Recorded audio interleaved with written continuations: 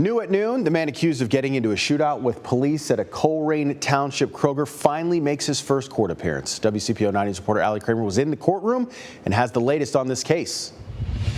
It took Joseph Van Niman almost two weeks to walk into this courtroom because he was in the hospital recovering from being shot in the eye during that exchange of gunfire with police.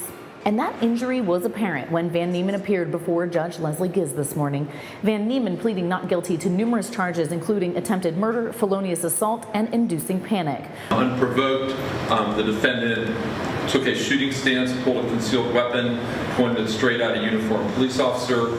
As a result of that, the officer did pull his gun. A gun battle ensued. The defendant did fire his weapon at uniformed police officers. It was a combination of body camera video from those Colerain Township officers and surveillance video from inside Kroger showing the chase and then that exchange of gunfire between Van Niman and police.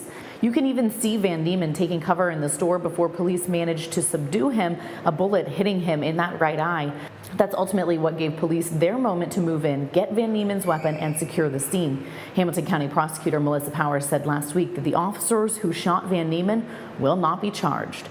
Van Niman is now being held on a million dollar bond. For now, reporting downtown, Ali Kramer, WCPO 9 News.